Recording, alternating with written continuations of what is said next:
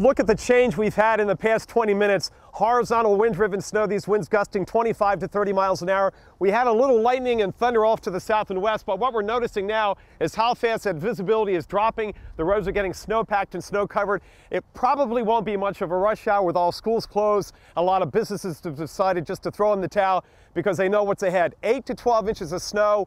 A lot of that's going to come down here between now and mid-afternoon at 1 to 2 inches an hour. We'll likely have more thunder snow and temperatures now in the low 20s. So this is a dry, powdery snow. So we're going to get the blowing and drifting.